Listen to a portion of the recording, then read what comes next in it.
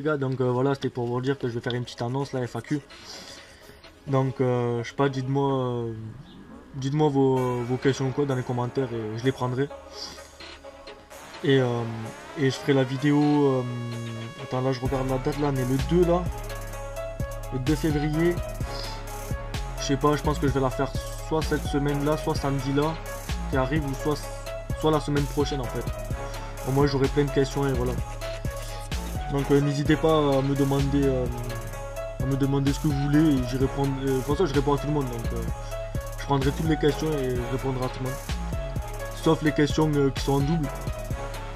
Donc après ça, c'est à moi après ça de faire le tri et je verrai. Et je voulais vous dire aussi que vous avez bien aimé là, les vidéos aussi de la voiture thermique là. Ça m'a fait grave plaisir. Donc voilà. Parce que ça, fait, ça fait un moment en fait que je l'ai. Donc en fait j'ai dû tout la réparer et tout pour faire des vidéos et la maintenant elle est comme ça maintenant. Voilà. Maintenant elle est en pièces. non parce qu'en fait je suis en train de la réparer donc euh, Parce qu'en fait j'ai cassé le lanceur là, euh, vous savez pour la démarrer là. Le lanceur là il est là là. Donc euh, voilà il est cassé.